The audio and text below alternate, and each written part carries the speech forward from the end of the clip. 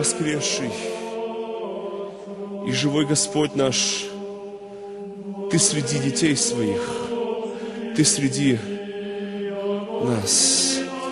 Ты сказал, где двое или трое собраны во имя Мое, там и я посреди них. Господь, сегодня Ты посреди нас. Коснись своей рукой, Боже, наших сердец. Боже, дай сердце новое нам. Боже, открой наши уши, чтобы слышать Тебя. Открывай наши глаза, чтобы видеть Тебя. Дай нам те же чувствования, что и в Тебе. Дай нам хорошее, здоровое, нормальное желание подражать Тебе, идти за Тобою, прославлять Тебя. Слава, слава и хвала Тебе, величественный Царь. Ты самый, самый, самый. Ты самый красивый, Ты самый умный, Ты самый сильный. И нет никого подобного Тебе. Аминь. Аминь, аминь, аминь. И самому, самому, самому, самые большие аплодисменты великому Богу.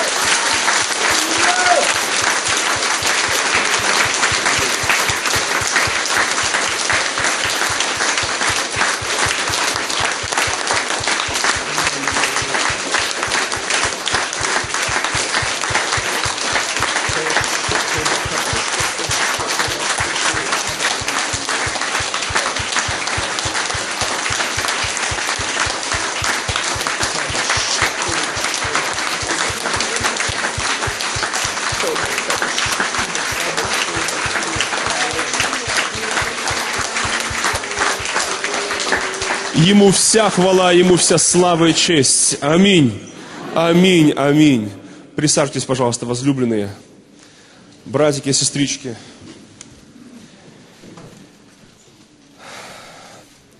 Слава Богу. Друзья, я рад тому, что сегодня мы вместе. Вчера э, здесь, в этом же помещении, была такая насыщенная, незабываемая встреча – я очень благословлен этой встречей, вашей молитвой. Те, кто пришел сегодня, я э, многих вижу первый раз. Я очень благодарен Богу за то, что вы пришли сегодня. Спасибо Богу за то, что Он усмотрел мою поездку эту замечательную. Спасибо, пастор Николай, за гостеприимство. Спасибо всем вам за молитвы, за устройство. Вам большой привет передаю от э, моей семьи и от моих церквей. А, я ношу клобук этот, но я не монах, и таковым не был никогда. А, и особо а, не страдаю от этого. Я человек женатый, у меня супруга, шестеро детей. У нас с супругой три мальчика и три девочки. От них от всех огромный вам шалом. Огромный привет. И вам того же. Некоторые, когда слышат шестеро детей, говорят, ну, мои соболезнования. Ну, стараемся, выполняем президентскую программу. Но вы знаете, друзья, а, это благодать, это награда от Господа. Я Богу за это очень признателен. И, а, друзья, а, конечно же, от наших церквей передаю большой привет от Украинской реформаторской православной церкви, а также от Российской православной обновленческой, не обновленческой, обновленческой церкви, от наших батюшек, матушек, от всех любящих Господа. И э, я сегодня с вашим пастором был в гостях, тоже в церкви Ольвеста. Мы видели тот храм э, и были в том храме, где э, в 70-е здесь, в этом городе замечательном, Господь совершал э, удивительное. Господь вызов бросил всей системе атеистической. Вызов бросил всему Советскому Союзу. Той стране, о которой каждое утро нам пели в наши уши, что он нерушимый союз республик свободных и что навеки он соединен. Но однажды мы проснулись, и на тебе. Где этот нерушимый теперь находится? его и в помине теперь нет. Друзья, Бог совершил чудо на нашей земле. Но тогда, в 70-е, когда казалось это все несбыточной сказкой далекой, казалось нереальным, и казалось, что все, коммунизм уже на века уже. Казалось, все. Концлагерь навеки. Казалось, все, свобода задушена. Казалось, все, нет, казалось, не будет уже проповеди слова свободной, Божьего слова. Но пришло удивительным образом, удивительным образом, это свобода, это единство, это чудо, Божье чудо. И, друзья мои, есть о чем размышлять, поразмышлять, посещая вот такие места пробуждений, был, былой славы Божьей. А, есть о чем поразмышлять.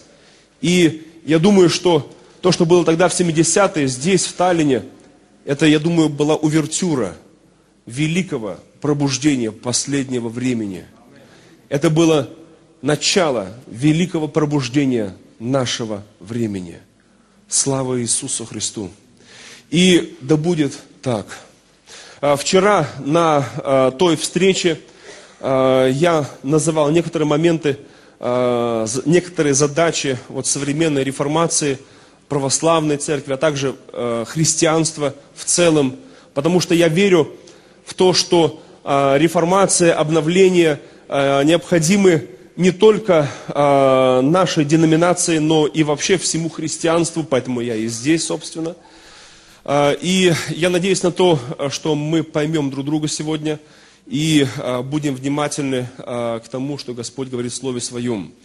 Э, и Господь да поможет нам в этом. Друзья, долгое время я считал, что вот такие церкви, вообще протестантские церкви, не православные церкви, я считал это все секта, ересь. И вот честно скажу, если бы мне сказали когда-то, вот лет 15 назад, что дорогой батюшка, отец Сергий, а я служил раньше священником, просто сельским батюшкой, а, служил на приходах в Рязанской, в Брянской областях, а, в традиционной, не обновленческой, а традиционной русской православной церкви Московского патриархата. И вот, если бы мне, мне сказали бы тогда, что ты будешь проповедовать в протестантской церкви, в собрании, вот таком собрании писятников тем более, тем более писятников. Это даже не баптисты. Говорили, что баптисты они хотя бы потихоньку сходят с ума. Но пятидесятники они буйные. И вы знаете, друзья, я бы не поверил тогда, но как я дожил до жизни такой, что вот я сегодня стою здесь, в собрании э, Пятидесятнической церкви, и нормально себя чувствую. Во-первых, это Библия сделала со мной. Божье Слово. Вообще, Иисус сказал, мы вчера это записывали, место Писания, можно сегодня тоже его пометить в наших конспектах, запомнить, зафиксировать это местописание в памяти. А, в Евангелии от Иоанна оно записано 8.32. Евангелие от Иоанна 8.32. «Познайте истину, и истина сделает вас свободными». То есть познание истины приносит нам освобождение. И в том числе освобождение от наших предрассудков, суеверий, заблуждений всевозможных – колдовства религиозного. И сегодня я Богу благодарен за то, что Он сделал со мной то, что Он сделал. Он сделал меня свободным от многих очень заблуждений. Раньше я полагал так, что Дух Святой дышит только лишь в моей деноминации.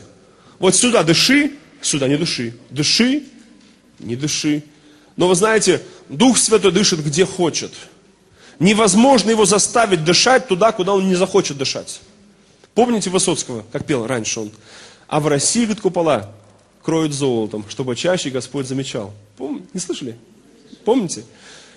И э, э, на самом деле это не Высоцкий придумал. Это было такое суеверие в Средневековье, когда считали, что наши предки считали, что вот покрытый купол э, золотом, покрытый, он привлекает внимание Всевышнего, и что Господь однажды вот как бы с высоты своего полета а, он как бы взглянет на землю и увидит, что там блеснуло. Ну-ка, ну-ка, ну что, что там такое? Да. И он опустится на землю, посмотрит, это купол. И вот однажды он захочет посмотреть, что же находится там, под этим куполом. Посмотрит, там люди с их проблемами. И возьмет, да и ответит вдруг однажды на эту проблему. Вы знаете, вот а, такие представления, такие, нам сейчас кажутся смешные представления эти, но люди на самом деле несли последние копейки порой, чтобы, но чтобы их, а, в, в, в их городе был храм, покрытый этим золотом. Но Господь замечает не это золото. Это золото земное, оно на небесах ничегошеньки не стоит. Он замечает золото нашей веры. Он замечает золото наших сердец. Он замечает то, что для человека порой ничего не значит вообще. И в глазах многих людей, может быть, не имеет никакой ценности.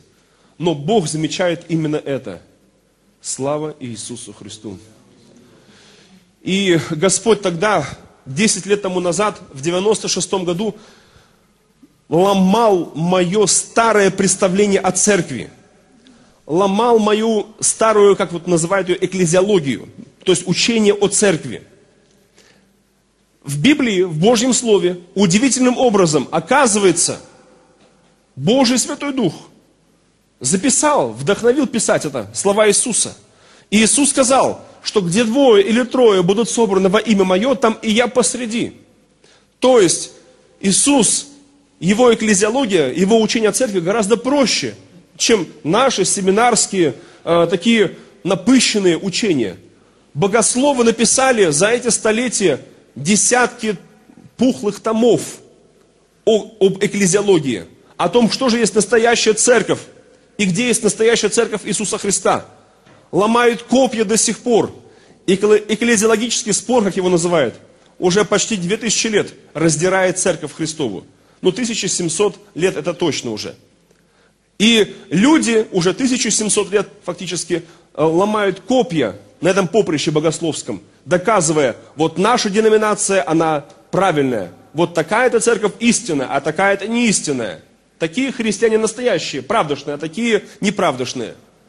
Но Иисус, я думаю, пришло время, в это последнее время, в, это, в эти последние времена прислушаться к Его словам. К словам Иисуса Христа. Он сказал, где двое или трое собраны во имя Мое, там и я посреди. Мы можем по-другому мыслить. Я помню представление некоторых а, братьев, пятидесятников, не в обиду будет сказано, а, и я проповедовал в одной из церквей а, пятидесятнического братства Украины. И один раз только это было в этой церкви, а, и больше меня не приглашали в эту церковь. Знаете почему? Диакон этой церкви, после уже служения, он подошел и стал так вот, как бы, так вот, ну, чтобы меня не обидеть, но как бы и надо все-таки сказать. А, знаете, говорит, у нас а, другое учение. Вы высказали мнение, с которым наш братский совет категорично не согласен. И даже братья многие обиделись на вас. Вот, что, за, за то, что вы сказали. А что же, думаю, сказал? Я стал как бы так прокручивать свою проповедь. Вроде никакой ереси так не сказал. Он напомнил мне, оказывается, я в проповеди высказал мысль, что и баптисты тоже спасаются. А это была старая обида этого братского совета. Это была больная мозоль, на которую нельзя было наступать. Я ж не знал этого.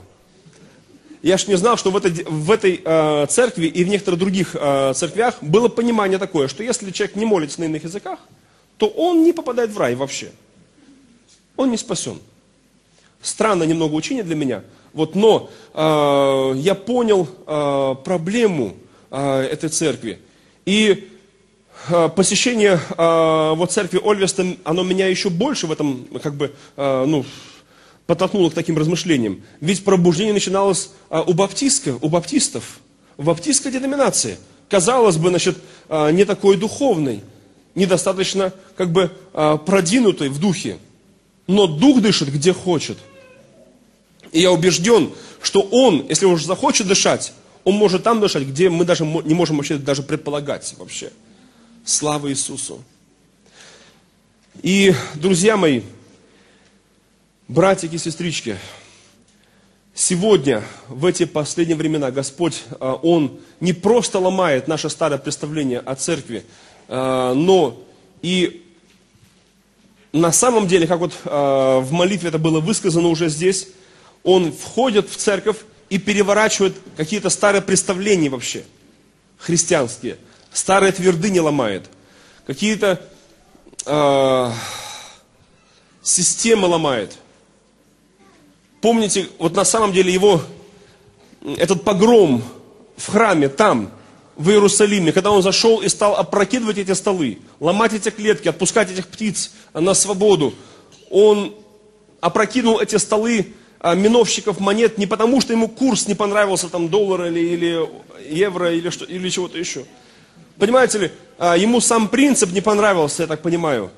Принцип, что из э, великой святой идеи люди э, опять э, сделали ну просто какую-то похабщину, а, а пошли ли то, что ну, свято, для Бога даже свято. Его дом, говорит, дом молитвы, Божий дом, дом молитвы, а вы, говорит, превратили его в вертеп разбойников.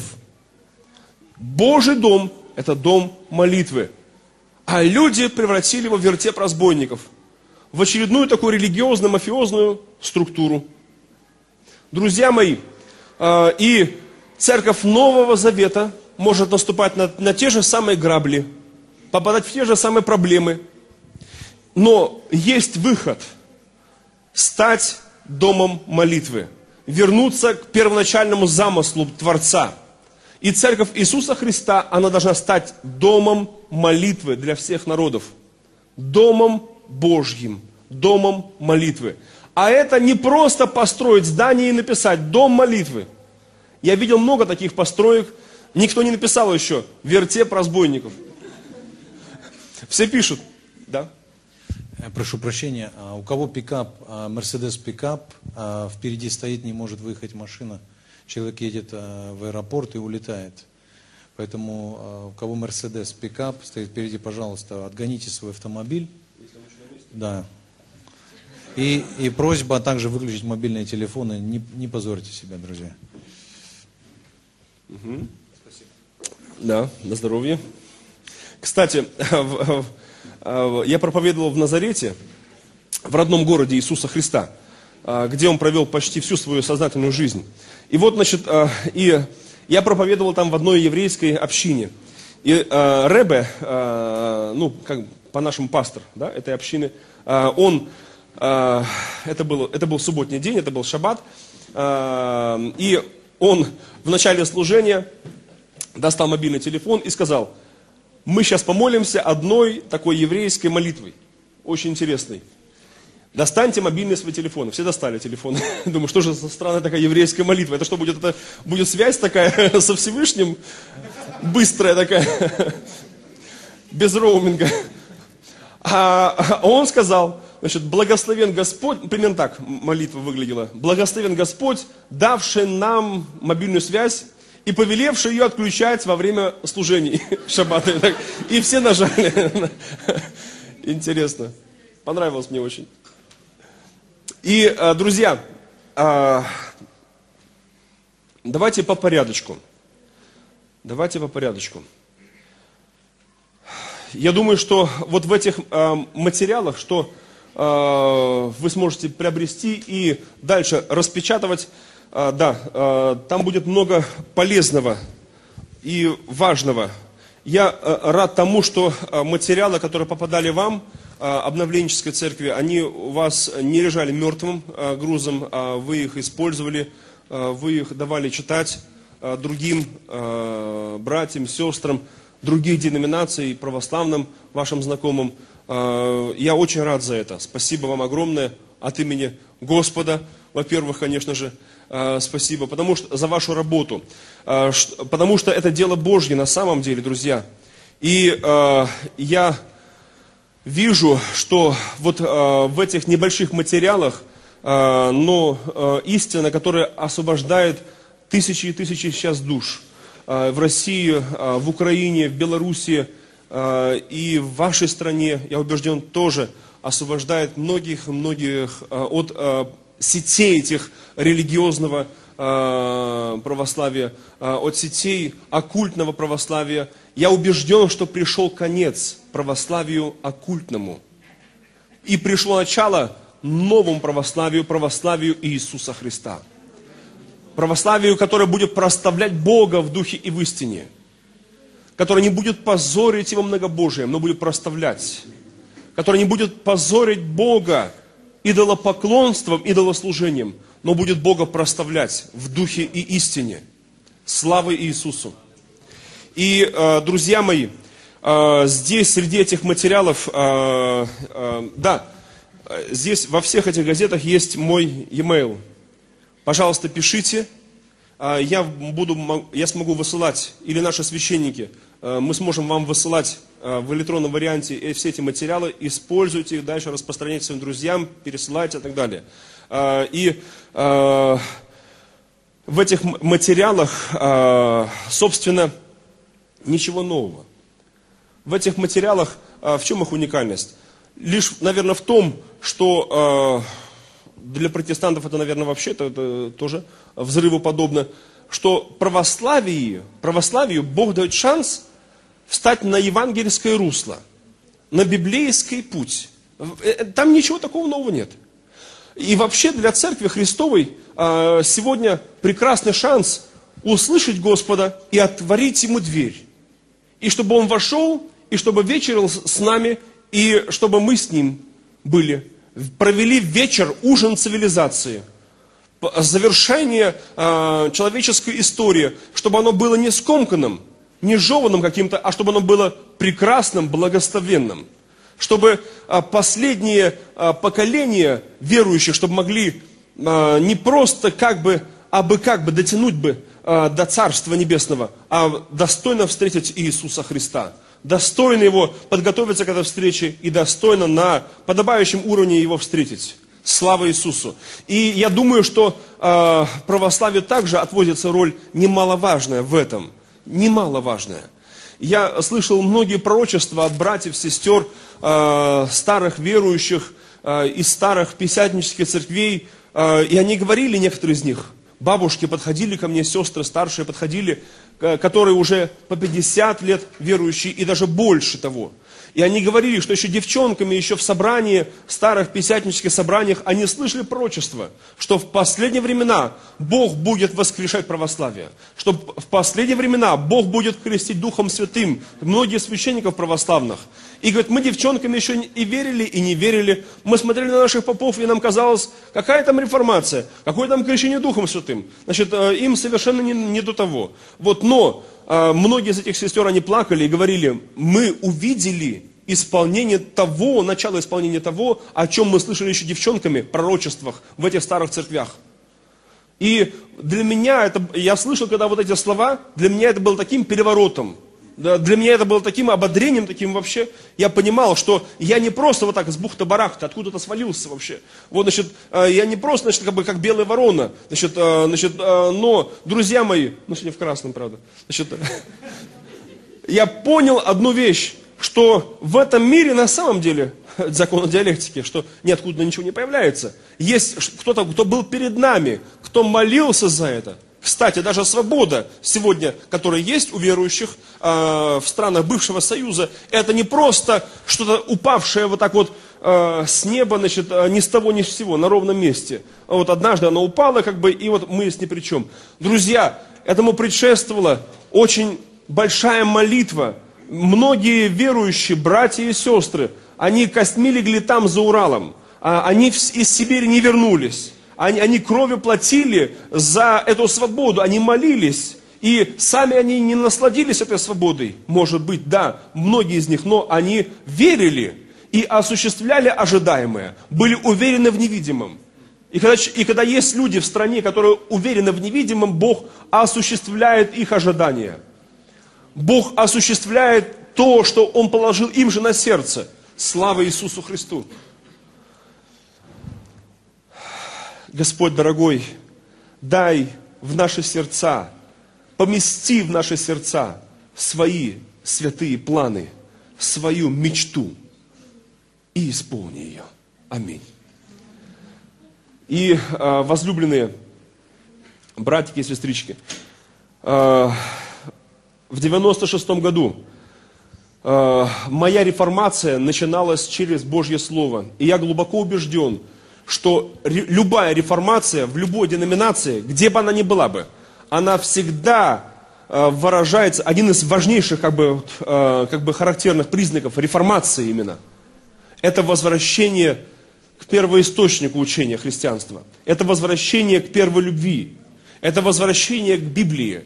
Это возвращение э, а- к тому, откуда проистекла вообще церковь. Друзья, и э, так бывает и в жизни отдельного верующего, и так в жизни поместной церкви, и так в жизни целых деноминаций. Это происходит. Друзья, и так оно будет э, и в православии. Я прошу ваших молитв за то, друзья. Я э, прошу прощения, кстати, э, у многих из вас, я хочу просить прощения, знаете, очень интересная такая, такой даже молитвой. Э, я думаю, помолюсь еще этой молитвой.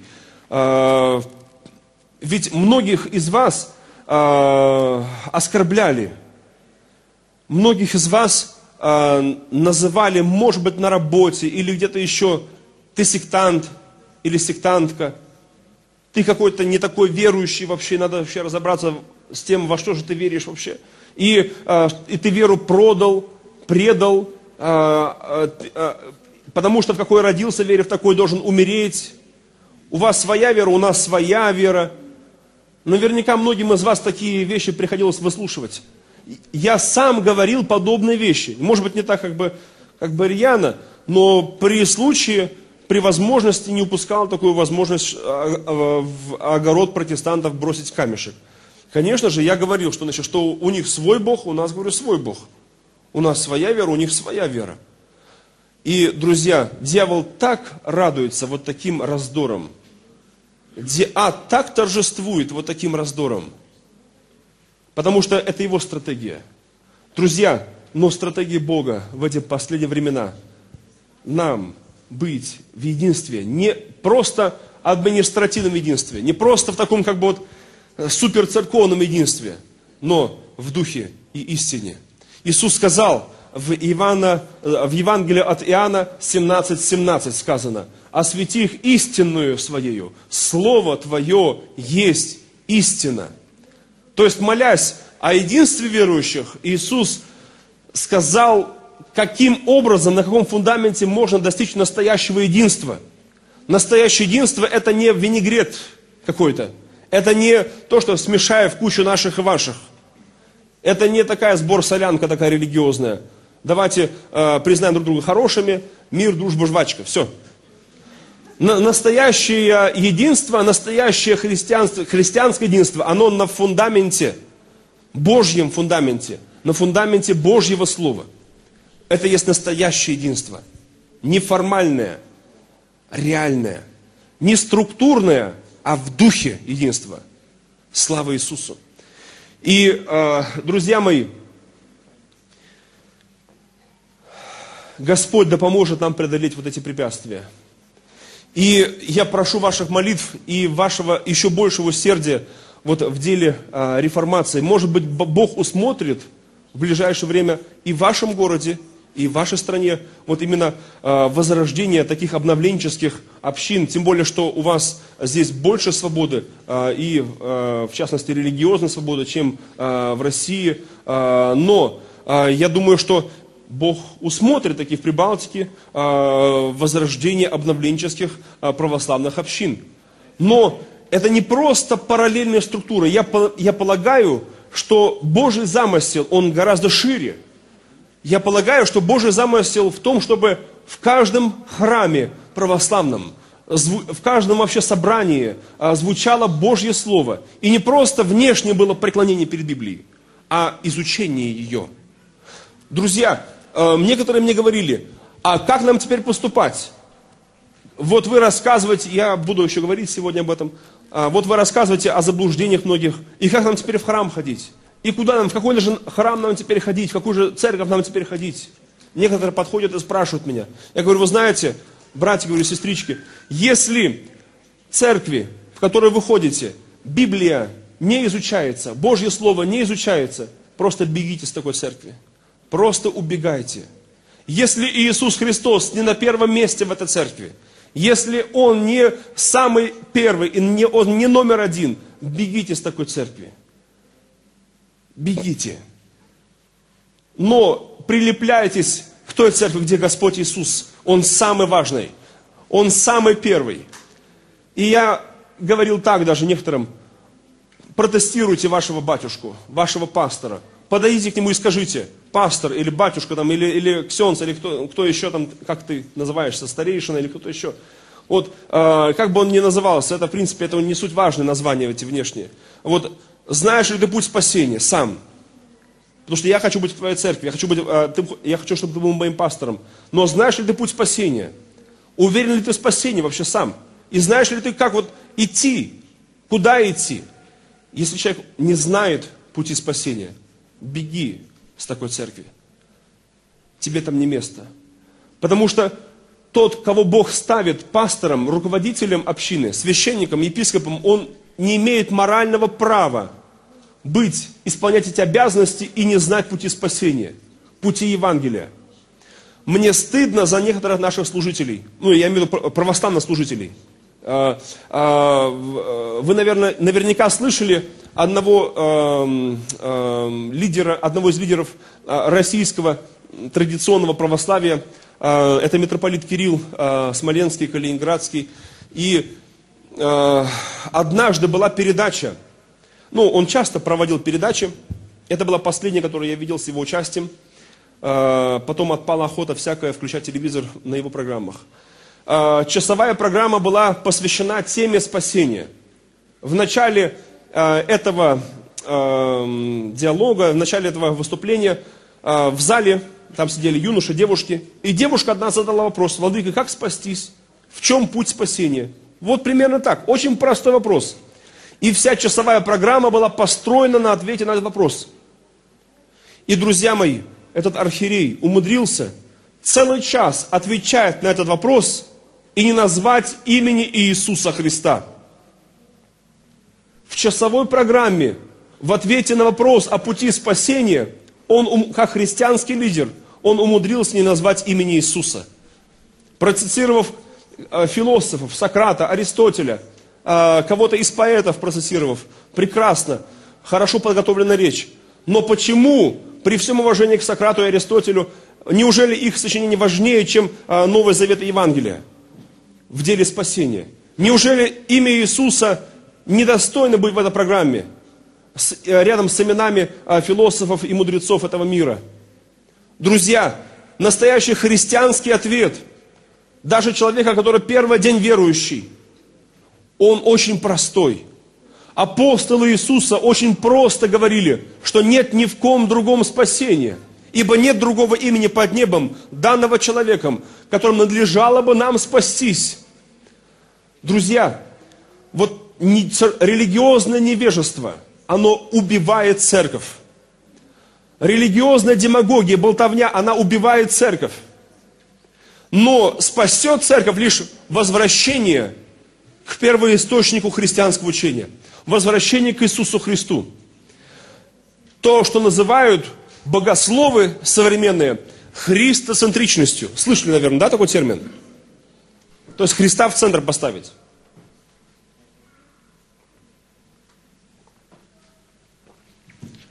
Если Христос не в центре внимания церкви, церковь рассыпается. Даже сохраняясь, может быть, э, как многотысячная структура, как многоцерковная структура, но если Христос не в центре внимания, духовно она уничтожается, как бы система самоуничтожения.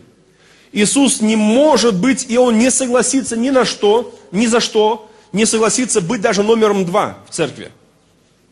Даже вторым номером Он не соглашается – его амбиции. Вообще, а, Иисус, он глава церкви вообще-то. И этого никто не мог отменить, хотя пытались, таки пытались многократно, многообразно. Наши э, западные коллеги, католические братья и сестры в этом плане преуспевали, э, ну, братья имею в виду, э, преуспевали очень серьезно, э, провозглашая многие столетия, что глава церкви это Папа Римский в средневековой Европе за утверждение, что Христос, глава церкви, можно было попасть на костер инквизиции. Там компетентные товарищи из Доминиканского ордена вполне серьезно могли тебе объяснить политику партии и римского государства. В чем же она состоит? Что глава церкви это Папа Римский. А по-другому не сметь говорить.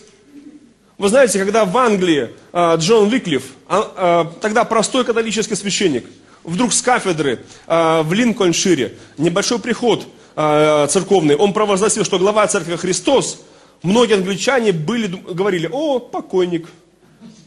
Еще жареным запахло в Англии, еще один костер скоро у нас разгорится.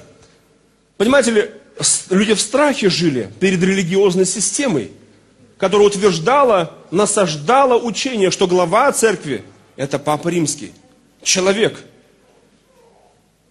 И, и когда, когда в 19 столетии, в конце 19 столетия на Первом Ватиканском соборе был провозглашен такой лжедогмат о непогрешимости Папы, друзья, это было вызовом к небесам. Ведь согласно этому догмату, то, что говорит папа с кафедры, это является безошибочно, безгрешно. Друзья, это, это высший пилотаж человеческого заблуждения. О судах написано следующее в этом догмате, что если суд Божий решит грешника отправить в ад, а суд папы решит иначе, то суд Божий должен подчиниться суду папы. Вы знаете, я когда читал догмат, мне казалось, что я вспоминаю сказку Пушкина о золотой рыбке. И церковь э, мне напомнила вот ту старуху, э, которая хотела быть то дворянкой, то там еще что, значит, то, значит, там депутатшей, то там, то первая леди. Э, а потом она сказала, вообще хочу быть владычицей, и пусть эта рыбка будет у меня на посылках. А вот я пошлю, пошла туда, она идет туда. Но вы знаете, Господь на посылках не будет никогда. Да, Он долго терпит. Да, Он желание старухи выполняет порой.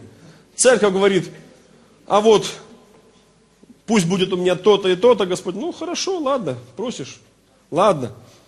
Но однажды даже у Бога терпение заканчивается. Он говорит, старуха, готовься, разбитая корыто.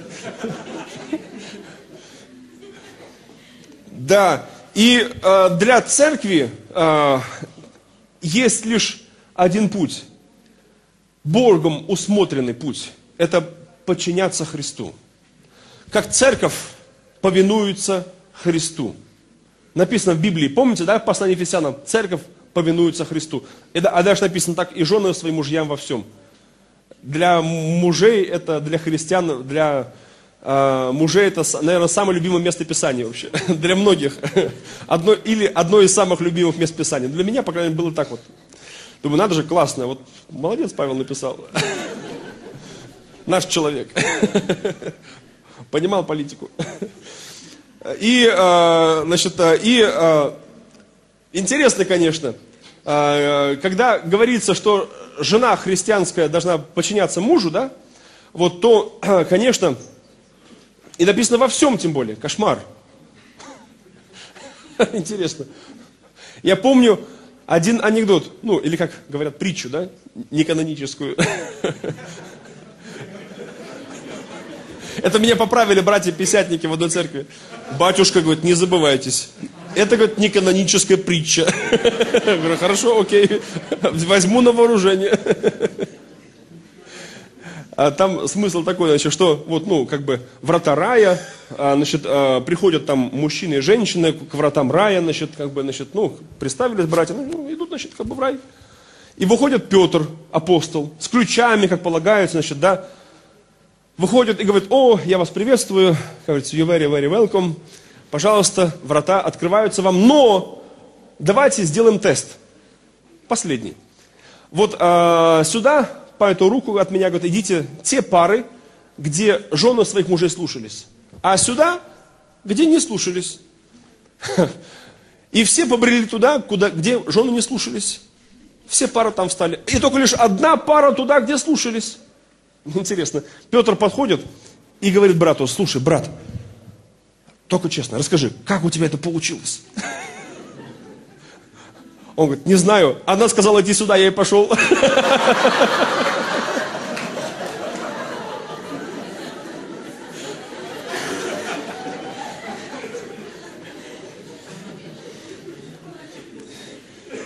И еще другую притчу помню.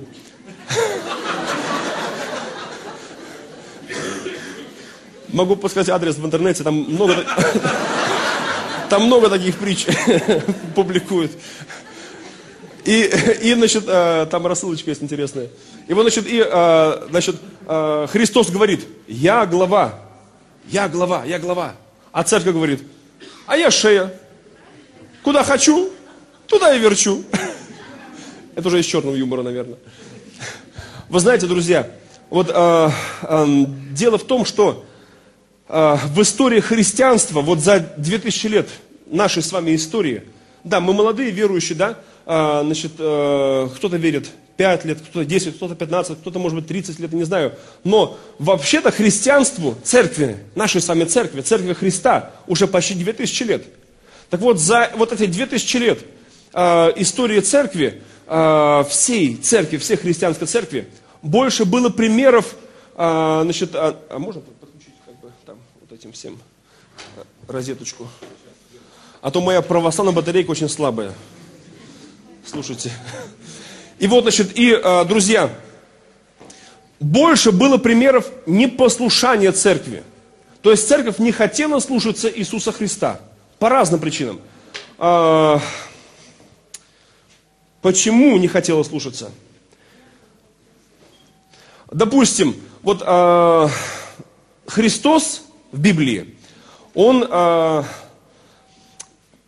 сказал так, это записано у Матфея э, 4.10, да, по-моему так, 4.10. Сказано, Господу Богу твоему поклоняйся и Ему одному служи. Да? Это как кредо Иисуса Христа. Он это высказал однозначно. Но одному ли Господу служит церковь? и служила церковь. А, один ли Господь для нее а, является именно Господом? Ведь а, на протяжении многих поколений, вот воспитана так была церковь, так вот учили в церкви, в разных деноминациях, что ну, помимо Христа можно много кому обращаться, в общем-то, даже. Даже вот взять вот такой пример. Я вчера об этом рассказывал так более так детально. Я надеюсь, что вчерашние получились диски. И, но я буду об этом еще раз говорить. А, и особенно в субботу более детально буду рассказывать вот на семинаре, а, как это все там появлялось. Из истории христианства примеры буду приводить. Но вот а, я расскажу следующее. Богословы еще в средневековье, даже еще раньше, чем в средневековье, в древности, когда церковь вышла из подполья христианское, они стали заявлять богословы, что Иисус хорошо, молодец, но кроме Христа надо еще кого-то поставить посредником, ходатаем. Надо еще кого-то сделать, э, как бы посредником к Богу по разным нуждам. Женским вопросам, семейным вопросам, там так далее. И сегодня э, во многих э, вот этих публикациях традиционных православных можно прочесть, какому же святому, в какой нужде необходимо помолиться – и человек, заходя с улицы в храм, очень часто говорит, а какому святому свечку поставить? Кому, кого мне задобрить? Кого ублажить? А, кому подмаслить? Чтобы, значит, было у меня там в бизнесе или в семье, или, или, или где-то еще удача, там, счастье там привалило и так далее.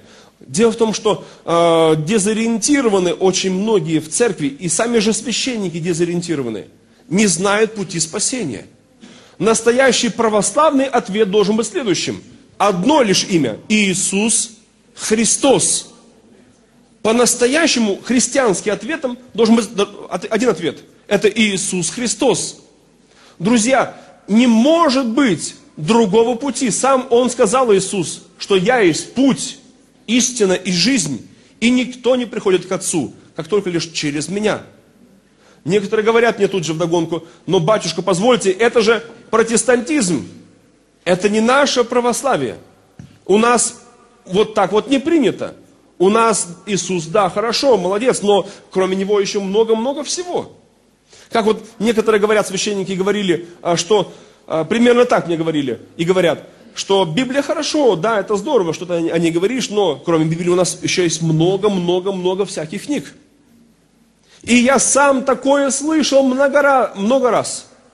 В 88 году, когда я начал служить а, в православном храме, это было в Орловской области, в селе, я руководил хором, ну, как лидер прославления. Как вот здесь сейчас было прославление, и девушки, да? Ну, значит, у меня тоже в джазе только девушки были. Самой молоденькой было 65 лет.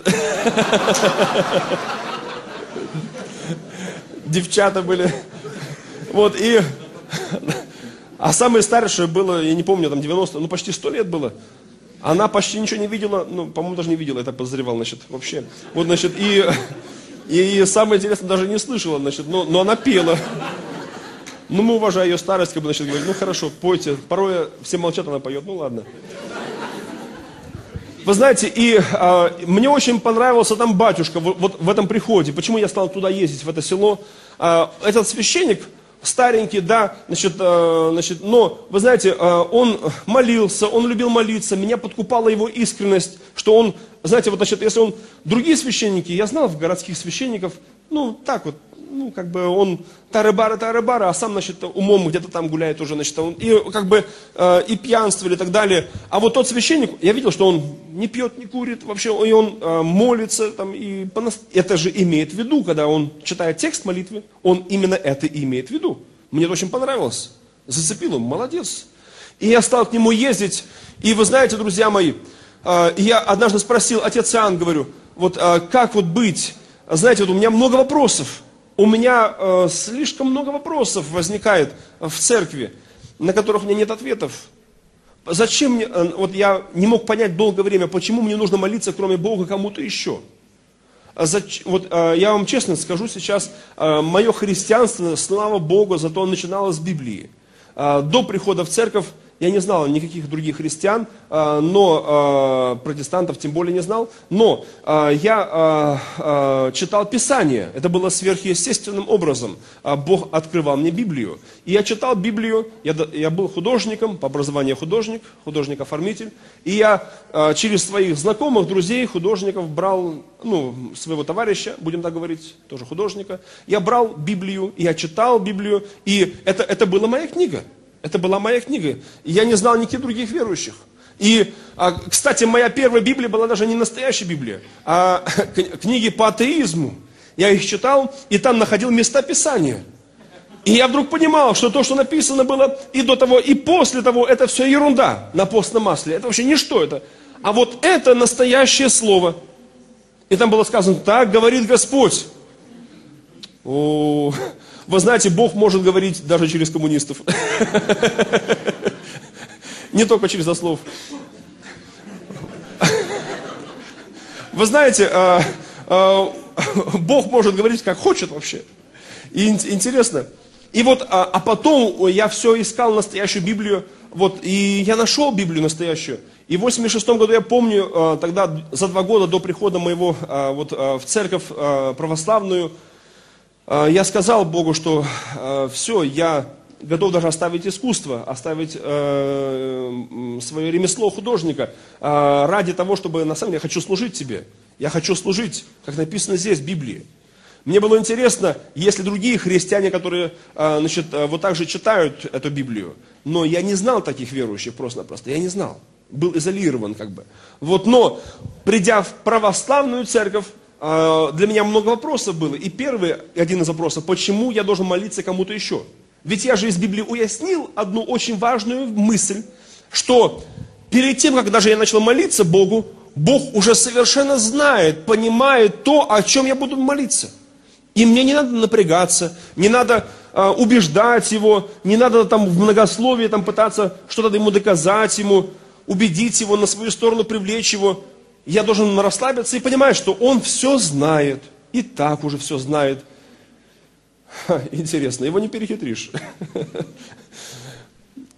И, друзья мои, и мне показалось как-то немного странным. Тогда еще я помню, зачем мне молиться там к Богородице или эм, и вообще вот как бы даже странное название Богородица. Оно немного мне как бы ну, ну нет такого. Как она могла дать начало Божеству Иисуса? То есть реформация у меня была с самого начала, будем так говорить. Но э, в то время, в 88 году, я принял такое решение. Послушав священника, я принял решение, по сути, пойти за авторитетом церкви. К сожалению, я принял неправильное решение тогда в жизни. И оно э, чуть было не погубило меня, это неправильное решение. Чуть было не похоронило меня духовно. И только лишь в 96 году Господь вырулил мою жизнь снова в Слово Его, снова к Библии. Слава Иисусу. И, друзья мои, этот священник мне сказал однажды следующее, тогда в 88-м. Он сказал мне, он сам был с Белоруссии, он, он говорил не Сережа, а Сережа. Сережа, знаешь, говорит, вот э, представь, ты самый умный, разве? Вот представь, две тысячи лет церкви, и все поколения богословов, святителей, там, монахов и так далее, они вот так вот видели все в Библии. И вдруг ты, оторванный от традиции всякой христианской, вот ты как бы вот без году неделя, э, открыл, понимаешь ли, Библию, начитался и все понял, конечно, превратно. И поэтому это ты просто ну, очень заблудился. Тебе нужно покаяться и читать Библию в традиции. А в семинариях еще более громоздкая система, там объясняют еще сложнее. Очень модное слово сегодня в семинариях – апостасия. И кто его знает, что он означает вообще? Ну, говорят, отступление. Ой-ой-ой, кошмар. Э, очень э, мудро все, конечно, закамуфлировано. Э, и говорят так, в семинариях по сей день порой, что вот так и так, мол, Библия это святая книга, да, это даже супер, там все, все, все, все. Но какое она отношение, какое она дело, отношение имеет к нам сегодня, непонятно. Каким боком она вообще как бы в церкви, непонятно. Она святая, да, но как Ленин сказал бы, страшно далеки от народа, да? Вот как бы она святая, но вот как бы в то время, когда писалась Библия, было много как бы Духа Святого. Потом меньше, еще меньше. Вот апостасия это означает, как бы, я так понимаю, что постепенное как бы ухождение Святого Духа. Медленное такое. Вот он не сразу, а вот так вот как бы так вот, вроде бы он и здесь, вроде бы уже его и нет. И вот, и он уходит, уходит, уходит, поэтому с каждым поколением все более и более труднее христианам понимать Писание. Понимаете, хитрость какая, какая глупость, вообще непонятно. Вот и, но красивое оправдание нашли, да? Хорошую религию придумали индусы, да, вот, значит, получается, православные. И вот, значит, и э, вот э, якобы, поэтому, чтобы мне, обывателю, понять сегодня Библию, я должен прочитать отцов, ближайших к себе, к своему времени, потом от тех отцов прочесть толкование других отцов, более далеких, более древних и дальше, и дальше, и дойти до Библии. Значит, знаете, испорченный телефон получается. Игра такая религиозная. И смысл вообще прямо противоположный. Прямо противоположно получается. Кошмар. Что же делать сегодня церкви? Интересно, был такой мыслитель а, и а, реформатор а, Владимир Марцинковский. Слышали о таком, наверное? Записки верующего, а, потом а, а, крещение детей а, и православие. Интересные статьи писал человек. Он, а, если вы помните, он жил, да, сто лет тому назад, уже, будем так говорить, в советское время его посчитали опасным врагом э, молодого советского государства, и его выслали из страны, без права возвращения. Выслали, но он как бы э, не унывал и э, женился э, на дочери известного немца по фамилии Шумахер, но не гонщика, а археолога, который пол Израиля перекопал в то время. И вот, значит, э, и э, вместе с госпожой Шумахер он поехал, значит, туда, в Израиль, и в Хайфе организовал первую мессианскую еврейско-арабско-русскую общину. Это было потрясающе, когда евреи и арабы вместе проставляли Бога. Там, в Хайфе, в портовом городке. Это была сенсация, это было до Второй мировой войны. Слава Иисусу. Ну, а, а, меня вдохновляют такие примеры. И вот, значит, а, и вот а, Марцинковский, находясь еще а, в Савдепии, находясь еще даже в том, что еще не называлось Советским Союзом, но потом стало Советским Союзом.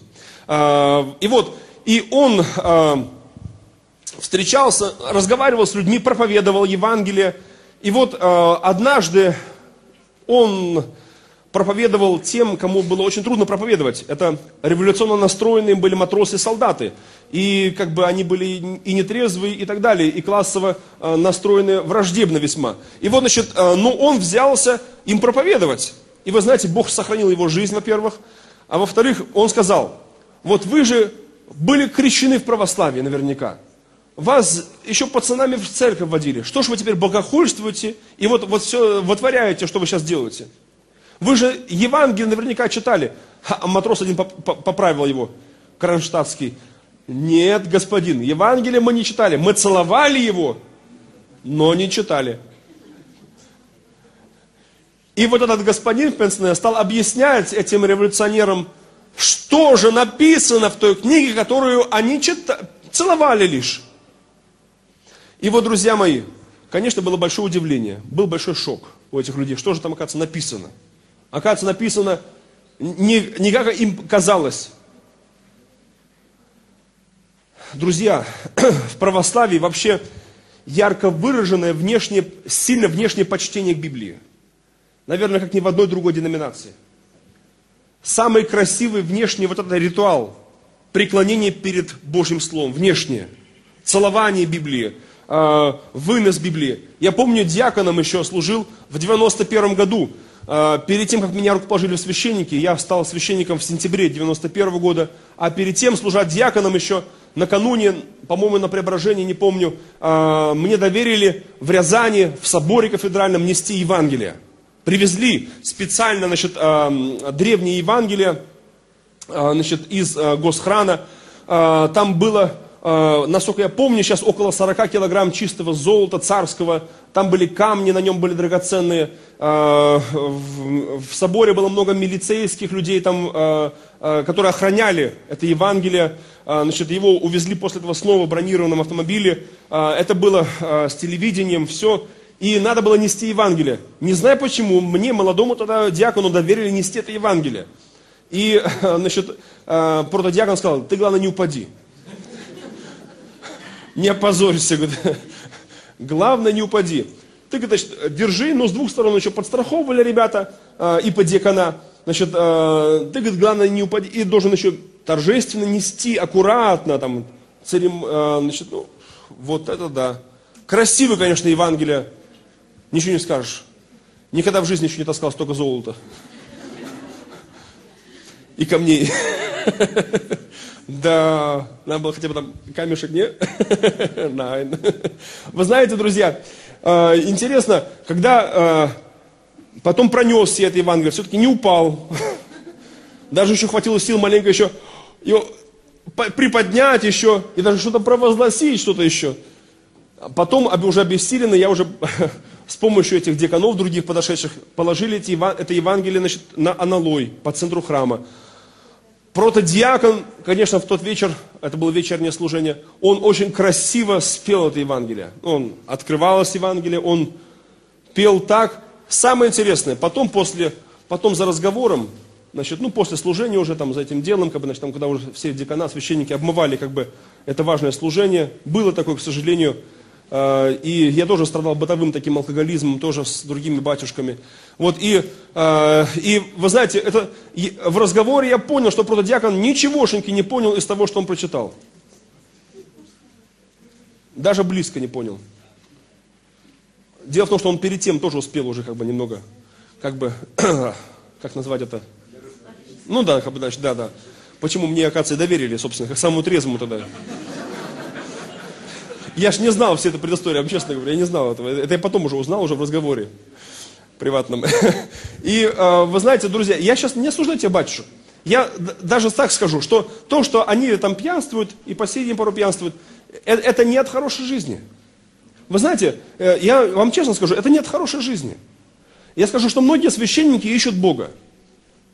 Вы скажете, как, в бутылке? Порой и в бутылке даже. Пытаются залить совесть. Я священникам многим говорю, сейчас, уже сейчас, будучи сам освобожденным от пьянства того, я не валялся под забором, но был зависимым. Вы знаете, я говорю священникам этим, что говорю, э, ничто вас не освободит. И никто не освободит. Пока не будет примирения с Богом, Никакие там, многие священники сегодня кодируются, зашиваются, что-то еще пытаются делать. Бесполезно. Потому что спасение, оно лишь в Иисусе Христе. В том, о ком они меньше всего подозревают, даже что в нем спасение есть. А в нем как раз и есть спасение. И это не нарисованный Иисус на религиозных комиксах наших соборов, а именно живой Иисус, живой, реальный, не виртуальный. Друзья мои, и э, поэтому я благодарю Бога за эту возможность сегодня здесь проповедовать, и особенности за видео.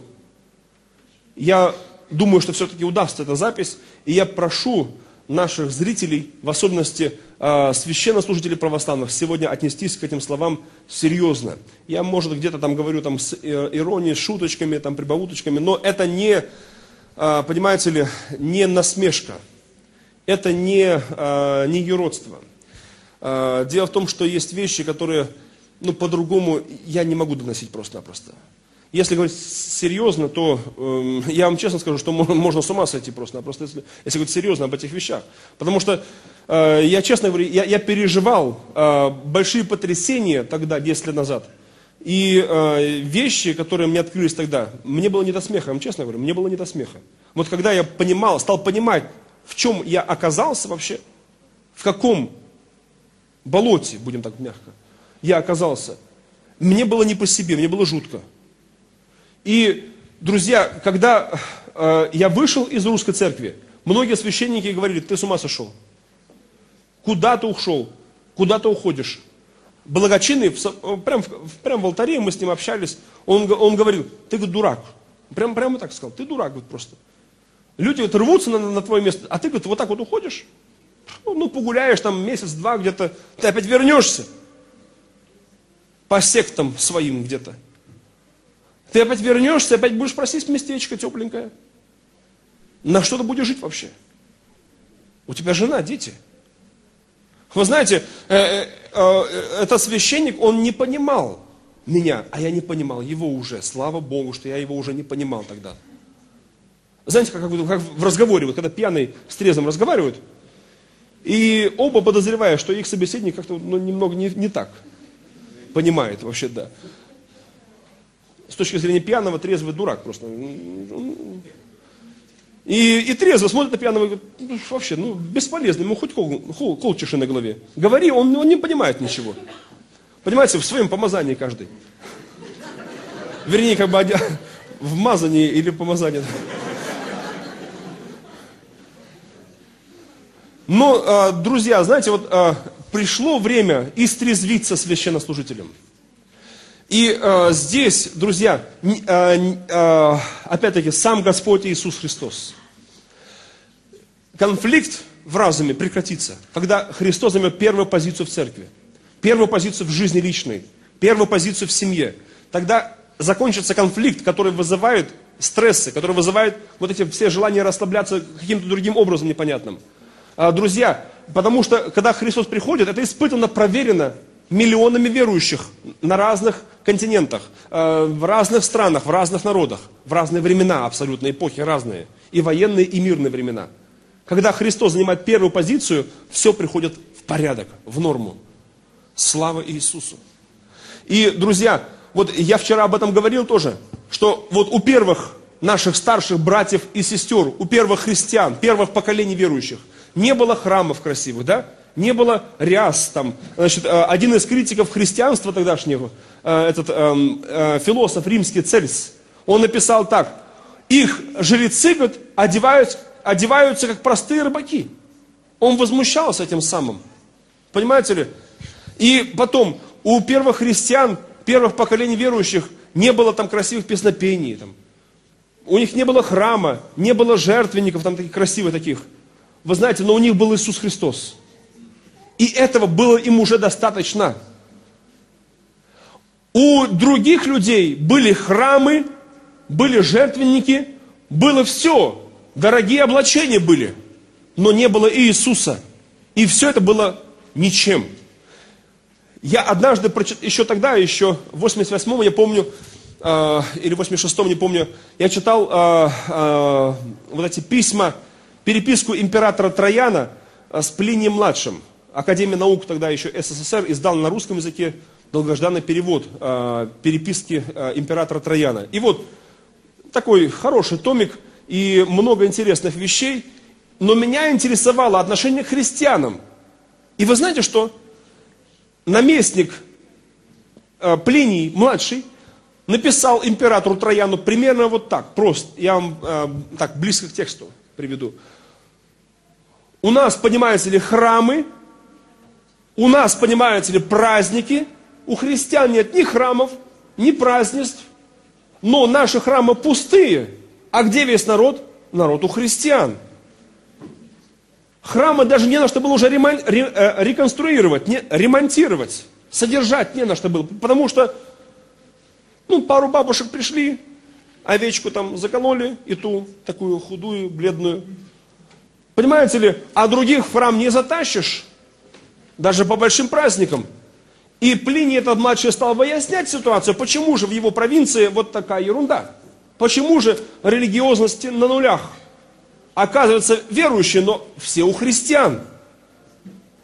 Друзья, Христос привлекает лучше золота. Христос привлекает лучше всего. Он самый красивый. Он самый сильный. У нас время, наверное, уже все, да, подходит к концу. Я так подозреваю.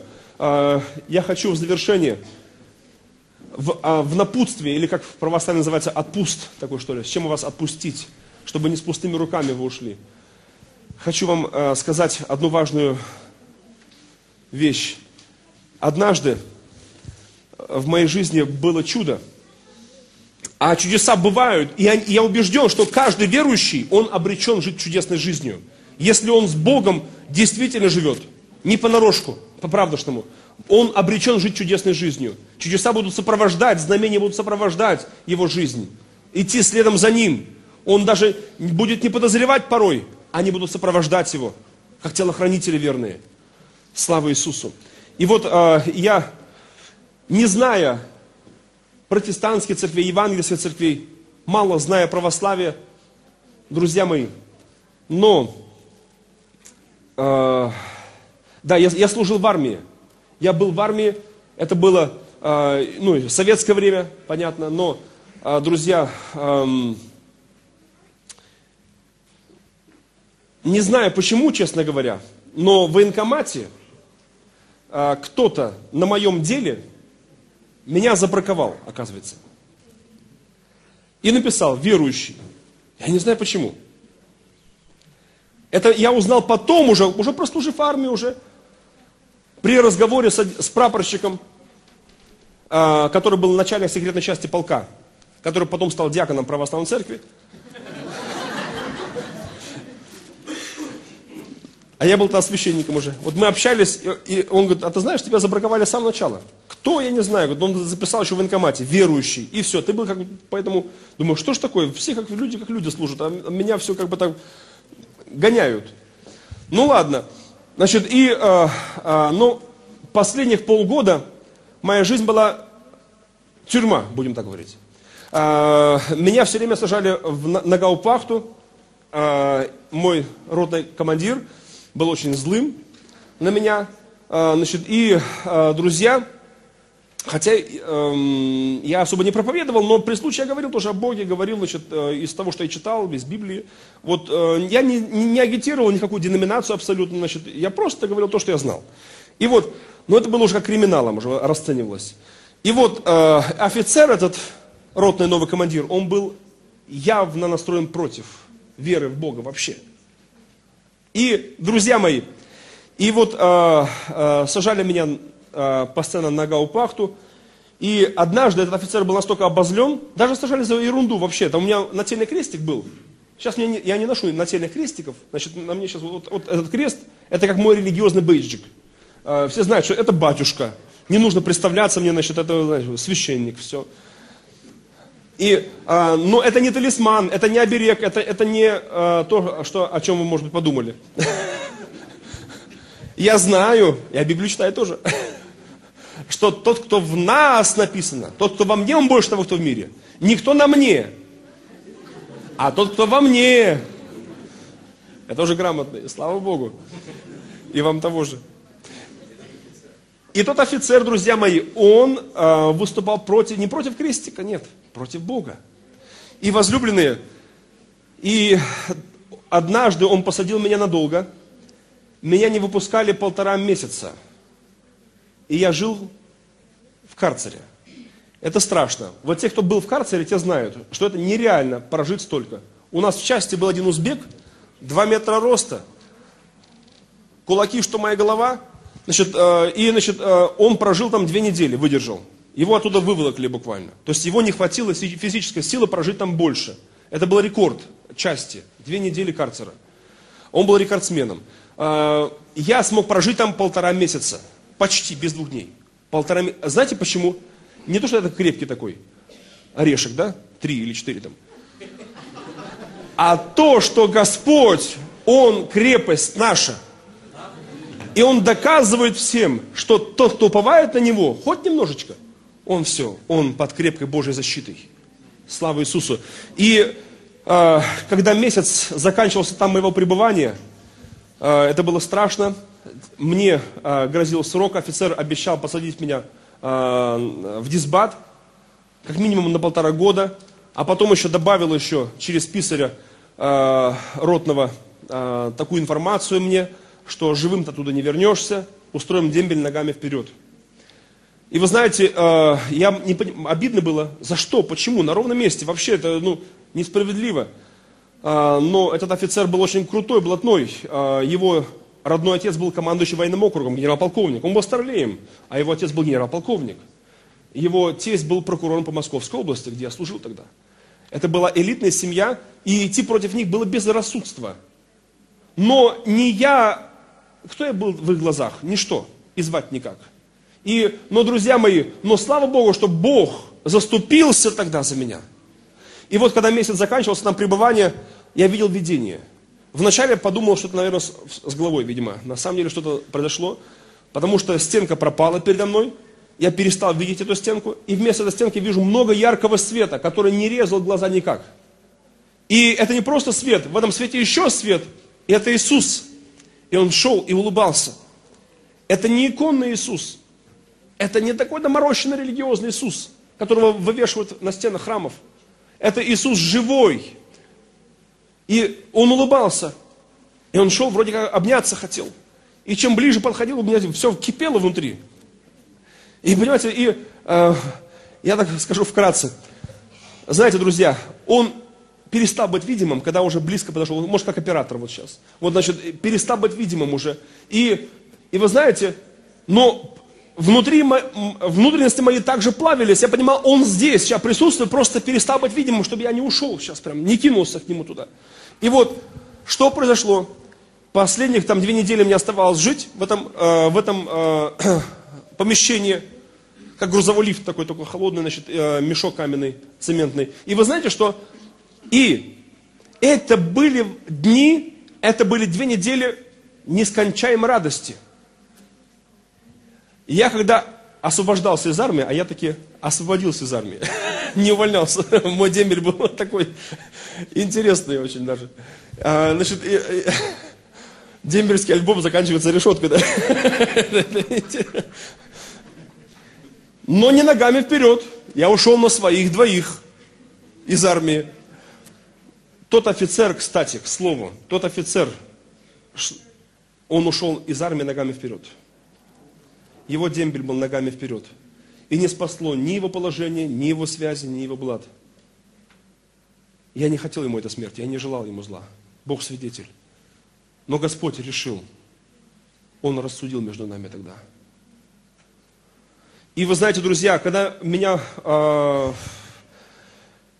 держали там еще, я думал так. И я был радостный.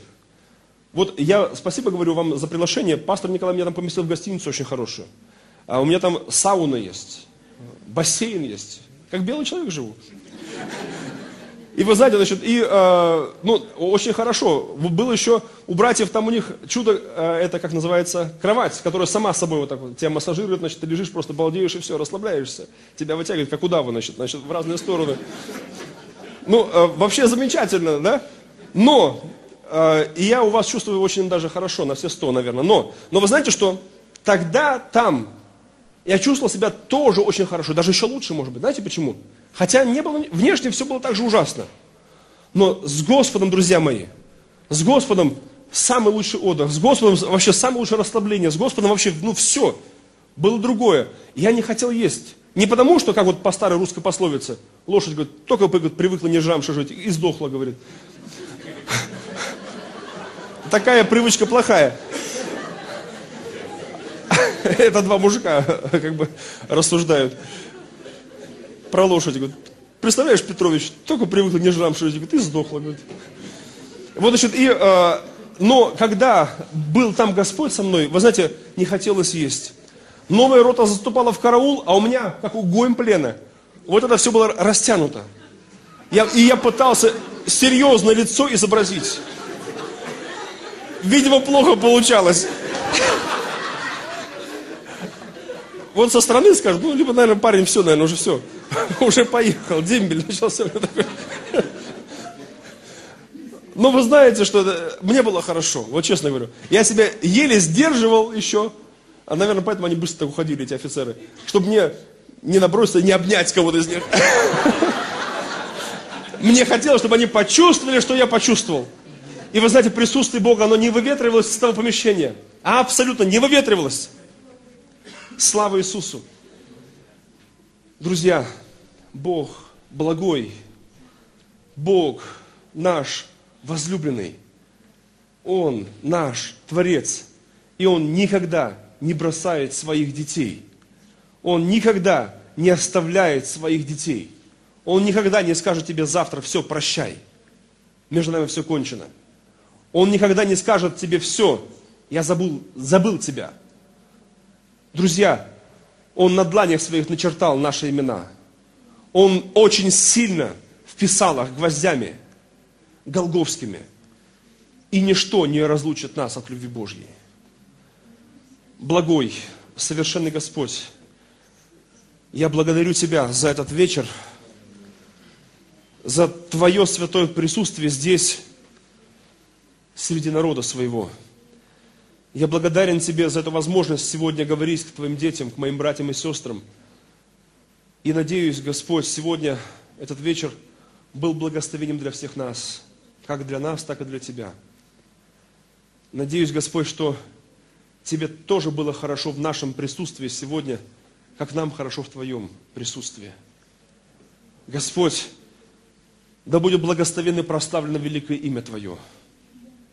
Благослови нас в течение этой недели, Боже, в этих встречах, в этих передачах, в семинарах, служениях. Боже, взаимно назидаться, наставляться, Господь. Боже, и пусть Твое великое имя будет проставлено здесь. Слава Тебе, Господь, за все. Во имя Иешуа. Во имя Иисуса. Аминь. Я вас благословляю стихами как и вчера благословлял благословением Аароновым из книги «Чисел» из 6 главы, стихами благословения Божьего, а, то, что Бог повелел Моисею передать Аарону и его сынам, чтобы они именно этим благословением благословляли сынов Израиля. И это благословение а, я буду петь на вас и на детей ваших, на семьи ваши. А, эту песню я буду петь сейчас на еврейском языке и на русском языке. И я хочу петь это благословение вашу судьбу, вашу вечную судьбу, вашу земную судьбу. Это благословение Божье. Среди нас может не так много евреев по крови, но, друзья, по нашей общей вере в нашего общего Спасителя Иисуса Христа – мы наследники великих благословений Библии, великие благословения Бога. И пусть Бог благословит нас. Аминь. Давайте встанем, возлюбленные.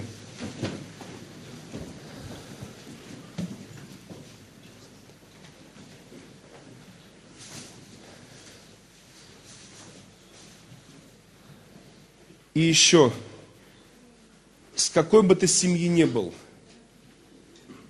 какое бы, может быть, даже плохое наследие не было бы у тебя в судьбе твоей. какое бы родовое проклятие не висело бы домокловым мечом над твоей семьей, семьей, Господь, Он обещается снять эти страшные мечи, эти страшные проклятия. И Он снимает их такие. И Он освобождает. Я вчера об этом немного сказал тоже, что э, в моей семье была очень сложная ситуация. Мой дедушка репрессировал многих верующих людей. Он служил верой и правдой тому государству, которого сейчас уже нет. Он верил в те идеалы, в которых разочаровались сегодня миллионы людей. Но он верил тем идеалам. Бабушка говорила, что верил очень фанатично. И когда Сталин его прислал сюда, в Прибалтику, наводить советские власти, наводить советские порядки, а, он очень жестоко поступил с многими очень семьями. И он много зла причинил этой земле. Про Таллин я мало знаю, но я знаю, что он очень много сделал зла в Риге и вообще по Прибалтике. И, друзья, я был внук того, кто много зла сделал этой земле. И э, в моей семье было проклятие, страшное проклятие. Внешне все было хорошо, но мы жили в проклятии. И я умирал. 13-летним мальчиком я умирал от двусторонней пневмонии. Но эта смерть была к славе Божьей. Потому что Господь меня воскресил тогда. И Он дал мне пережить первый раз в жизни прощение, покаяние, прощение, возрождение и исцеление. И я знаю, что спасешься ты сам, и спасется дом твой. Я знаю, что какая ни была бы наша судьба, история нашей семьи – какие не были бы злодеяния, может быть, в нашей семье, в наших семьях, грехи, пороки. Есть Бог на свете, жив Бог, который исцеляет, который освобождает, снимает страшное ермо. И я буду петь это благословение. Кто бы то ни был, какова бы ни была твоя судьба, до того момента, когда ты встретился с Богом – может быть, даже до сего вечера, какая ни была бы твоя судьба, зная, что Бог снимает страшные бремена. Бог снимает. Или же по-еврейски буквально звучит как стирает, вытирает. Этого не остается вообще. Это стерто, это уничтожено. Еврехеха Adonai והשמרך.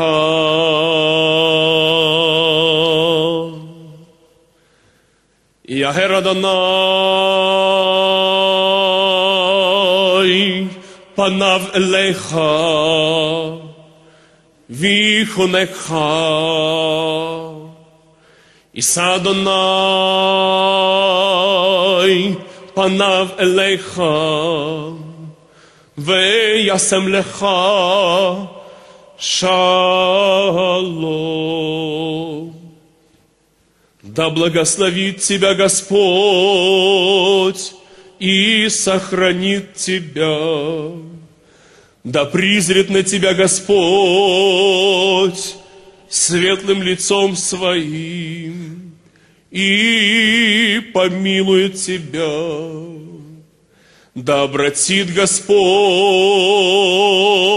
лицо свое на тебя и даст тебе мир. Бешем Иешуа Хамашиах во имя Иисуса Христа. Аминь. Аминь, аминь, аминь. Святому Израилю.